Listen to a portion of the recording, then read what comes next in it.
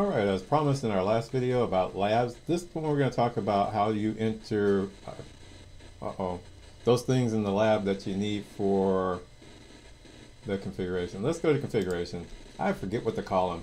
Okay, so these things here, how do you get them into the system? Okay, these are the lab orders, and you can do them both ways. You can do them where you just put in the lab order item in there, or you can put it in there where you can also do the discrete results. For right now, we're just going to see how to get the items on this list. Now, you notice I got a, a top label, a top level list here, and this one I call general.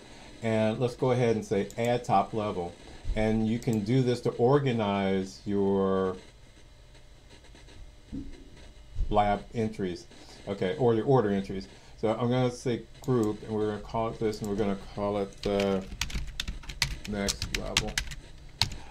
I'm not very creative, and you can leave this blank as well. And sequence, it would just sequence them on the screen there. So I'm going to save this, and that gives me next level. Now, if I want to add something to this group, then I would click on the pencil here. Oops, sorry, not the pencil. That's just to change that. Click on plus sign here. And now in this tier, we're going to say procedure order.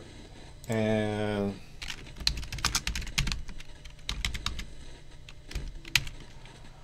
oh, OP, OPSI. Okay, my new biopsy, we're going to give it a description. And then you're going to, if you give it a sequence number, again, it's just going to sequence them on the screen in the order you want to see them.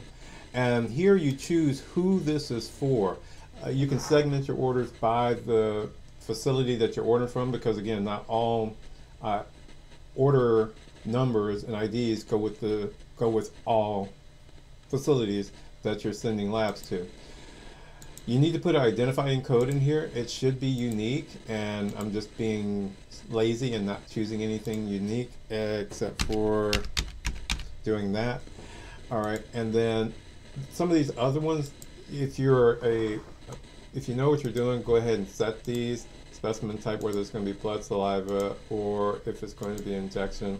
All right, and then uh, let's go with right, or no, let's go with bilateral. Okay, so that's just filling all those out. This is to give you an idea of what it looks like. So I'm going to go ahead and save this. Now you can see under next level, I have biopsy. And also, if I do this, new biopsy collapses under next level. So now when I do this, I can see this.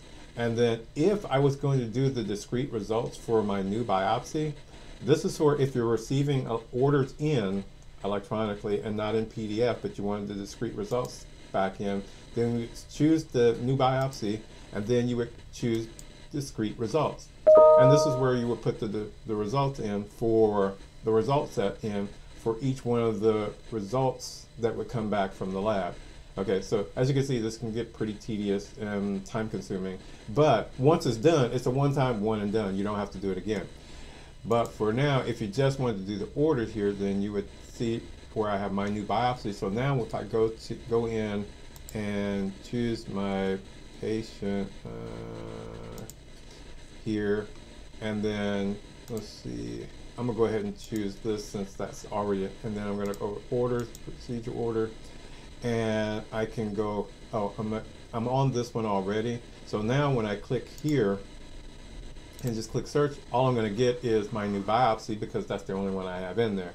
And so you can add as many as you need, and this is how you would manage the lab order, procedure order descriptions and codes in the system.